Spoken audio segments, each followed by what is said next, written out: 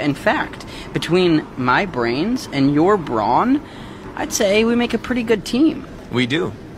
Although technically I have both brains and brawn. True, but I have the personality and the winning smile. So.